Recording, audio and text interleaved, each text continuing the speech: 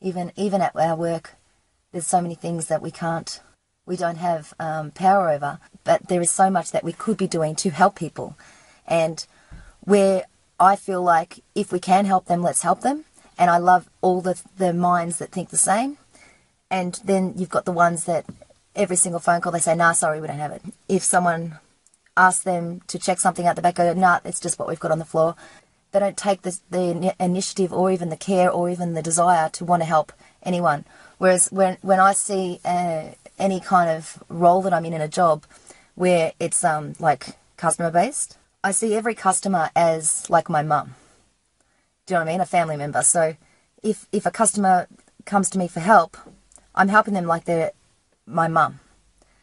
Not like they're just another nobody, you know, and I think it's the difference in, in taking the care to acknowledge people for um, have a care about, you know, trying to help people. And the only times that I haven't been like that is when I've been like depressed and angry with the world and I just didn't care. And I, I feel like they're related, you know, like when, when you don't care for yourself, you don't care for others.